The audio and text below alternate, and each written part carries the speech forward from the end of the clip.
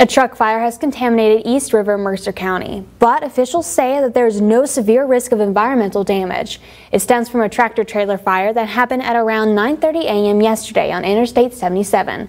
The East River Volunteer Fire Department says a truck carrying at least 42,000 pounds of water-based glue was fully engulfed by the time its trucks got to the scene. Mercer County Emergency Management says the glue leaked into drainage throughout the night and eventually got into the East River. The glue is similar to Elmer's glue and is non-toxic toxic and non-hazardous to the environment. Biologists and other environmental experts have been on the scene all day, and Mercer County Emergency Management says that there have been no fish killed. The truck caught fire near mile marker 8 in the northbound lane, shutting down traffic. It has since been reopened. More information is expected to be released in the coming days. Newswatch will update you as we learn more.